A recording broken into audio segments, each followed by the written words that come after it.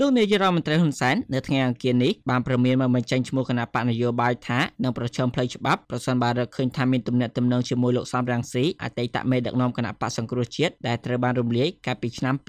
2017បន្ថែមពីនេះលោកនាយរដ្ឋមន្ត្រីក៏បានប្រមានទៅកាន់មនុស្សមួយក្រុមរស់នៅក្នុងប្រទេសកម្ពុជាដែលលោកថាកំពុងជាប់ខ្លួនជាមួយលោកសំរងស៊ីឲ្យមានការប្រុងប្រយ័ត្នខ្ពស់និងត្រូវផ្ដាច់ខ្លួនជាបន្ទាន់ដើម្បីកុំឲ្យមានគ្រោះថ្នាក់ទាក់ទងនឹងការចោទប្រកាន់តាមផ្លូវច្បាប់ក្នុងពេលចោះជួបប្រជាកសិករដែលរងគ្រោះដោយសារទឹកជំនន់ក្នុងខេត្តពោធិ៍សាត់កាលពីព្រឹកថ្ងៃអង្គារលោកហ៊ុនសែនបានហៅលោកសំរងស៊ីថាជាជនក្បត់ជាតិបងប្អូនដែលរស់នៅក្នុងបកមួយដែលខ្ញុំមិនចេញឈ្មោះទេក៏ប៉ុន្តែបានផ្សារភ្ជាប់ជាមួយនឹងអាជនក្បត់ជាតិ3ចំនួននេះសូមឲ្យប្រញាប់ចាស់ចេញខ្លួនផ្ដាច់ខ្លួនចេញហើយទៅចូលរួមជាមួយបកនយោបាយផ្សេងផ្សេងទៅ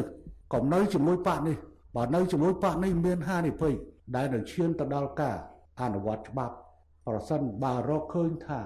មានតំណែងឡងជាមួយអាជនគាត់ជាតិមួយនេះលោកហ៊ុនសែនបន្ថែមថាបកណាក៏ដោយតែផ្សព្វផ្ជួនជាមួយនឹងជួនគាត់ជាតិនេះចាំបាច់ត្រូវតែពិនិត្យមើល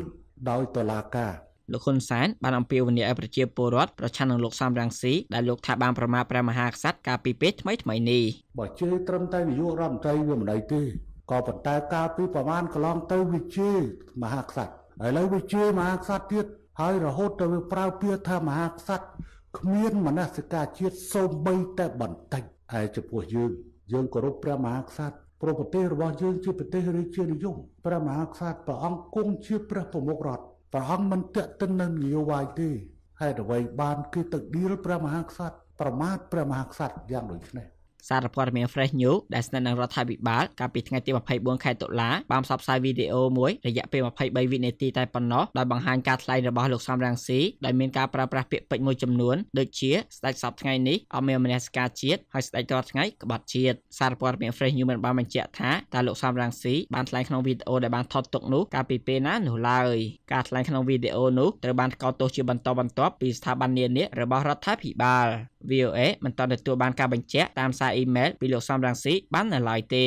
ក្នុងវីដេអូមួយផ្សេងទៀតដែលបង្ហោះក្នុងគណនី Facebook របស់លោកសំរងស៊ីកាលពីថ្ងៃទី20ខែតុលាដែលមានចំណងជើងថាហេតុអ្វីបានជាហ៊ុនសែនច្រឡោតតោតតងជាមួយសំរងស៊ីលោកសំរងស៊ីបញ្ជាក់ថាមូលហេតុដែលលោកហ៊ុនសែនខឹងសម្បារូបលោកខ្លាំងគឺដោយសារការចាញ់ក្តីនៅតុលាការបារាំងរឿងការចោទប្រកាន់សម្លាប់លោកហុកឡុងឌីអតីតអគ្គស្នងការនគរបាលជាតិនិងការព្រួយបារម្ភអំពីអនាគតក្រុមគ្រួសាររបស់លោកហ៊ុនសែននិងការផ្ទេរតំណែងឲ្យលោកហ៊ុនម៉ាណែតដែលជាកូនប្រុសច្បងរបស់លោកគាត់ព្រួយបារម្ភពី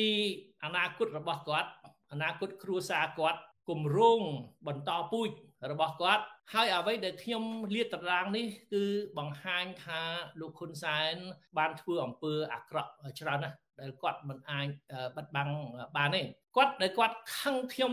ចុងក្រោយនេះខឹង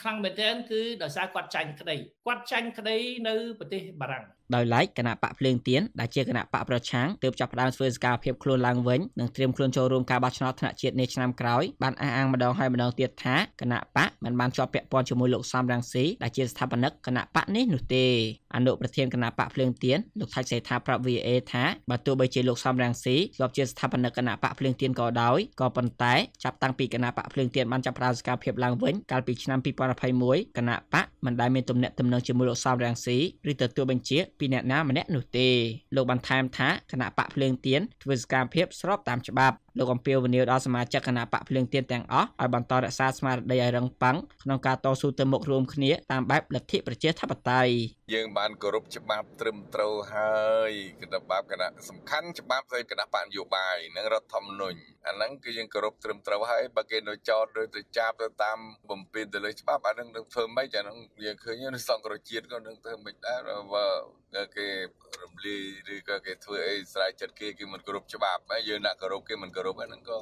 តាមដំណើរហ្នឹងទៅអ្នកវិភាគនយោបាយលោកមាសនេះប្រាប់ VA នៅថ្ងៃអង្គារនេះថាអនាគតរបស់គណៈបកភ្លើងទៀនមិនច្បាស់ថាបានសក់នោះទេបើនយោបាយនិងច្បាប់នៅក្នុងប្រទេសកម្ពុជានៅបន្តស្ថិតក្រោមឥទ្ធិពលរបស់អ្នកនយោបាយលោកបន្ថែមថានយោបាយនៅកម្ពុជានៅតែបន្តភាពផុយស្រួយជាពិសេសសម្រាប់គណៈបកភ្លើងទៀនព្រោះគ្រោះថ្នាក់និងសវត្ថិភាពគឺអាស្រ័យលើអារម្មណ៍របស់អ្នកនយោបាយ មានដំណងអតីតសង្គ្រោះជាតិនេះតើត្រូវធ្វើការយ៉ាងម៉េចដើម្បីផ្ដល់ឱកាសឲ្យពលរដ្ឋថ្មីនេះអាចញាស់បានប្រកបដោយសុវត្ថិភាពនៅពេលដែលត្រូវការញាស់នៅខាងក្នុងប្រទេសនោះបាទ លោកមាសនីបន្ថែមថាទំនាក់ទំនងរវាងលោកហ៊ុនសែននិងលោកសំរងស៊ីហាក់មកដល់កន្លែងមួយដែលធ្វើការជាមួយគ្នាលែងកើតដែលនេះជាហេតុធ្វើឲ្យខាត់បងប្រយោជន៍ទាំងសងខាងហើយបើនៅតែបន្តបែបនេះប្រជាធិបតេយ្យនៅកម្ពុជានឹងនៅតែបន្តរងការរិះគន់និងធ្វើឲ្យប្រជាពលរដ្ឋពិបាកទទួលយកបានរាយការណ៍ពីរាជធានីភ្នំពេញខ្ញុំលោះលីបលីប VOA